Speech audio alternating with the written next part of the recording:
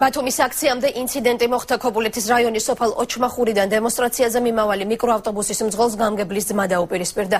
ინციდენტის დეტალებს მიკროავტობუსის მძღოლი გიორგი ხალაძე იხსენებს და ამბობს, რომ მაღაზიასთან გაჩერებულ მიკროავტობუსთან გამგებლის ძმა მივიდა და იქ მყოფ ახალგაზრდებს მოსთხოვა აქციაზე არ წასულიყვნენ. ეს მოთხოვნა მიკროავტობუსში მყოფმა მგზავრებმა გააპროტესტეს, რაზეც გამგებლის ძმის უხეში პასუხი მიიღეს. მოგვიანებით მგზავრებს თავად მძღოლი გამოესარჩლა, რასაც სიტყვიერი დაპირისპირება მოხდა. ქართული ოცნება ამ ფაქტს დაშინ მოხსენების მცდელობა დაფასებს. მანქანით მოვიდა. გამგებლის ძმა მოვიდა და ამ ქალებს დაუწყო აგრესიული ლაპარაკი ძალიან.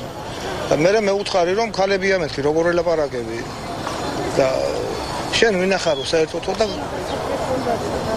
მოირბინა და კარი გამოაყო და მომკიდა მაიკაზე ხელი და ჩაუმახია.